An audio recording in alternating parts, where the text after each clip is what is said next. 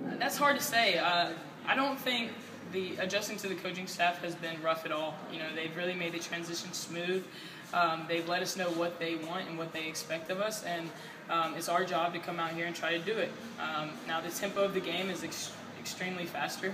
You guys saw us getting up and down, and um, physically, that's probably just the biggest transition because we do have to get in better shape.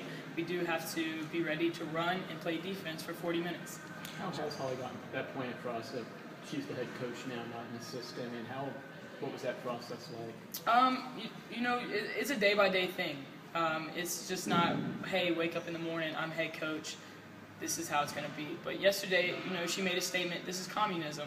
What she says is what we do, and that's that's how we're going to win. You know, we have to buy into the program, we have to buy into what the coaching staff wants us to do, and if we do that, then I think we'll, you know, we'll win championships.